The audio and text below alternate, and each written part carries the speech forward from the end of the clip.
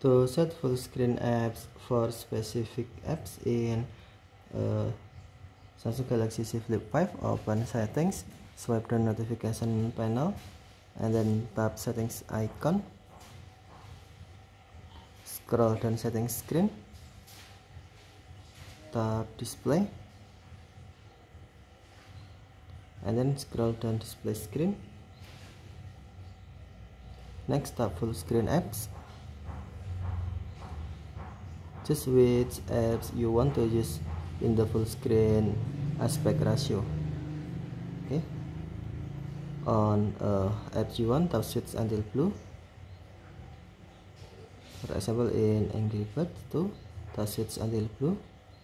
To set uh, Angry Bird to full screen or tap switch until gray to uh, turn off full screen touch switch until to turn on. Or touch switch until to turn off. Apps to uh, full screen. Okay it's different. If full screen on or and this if full screen is off. Okay thank you for watching. Have a nice day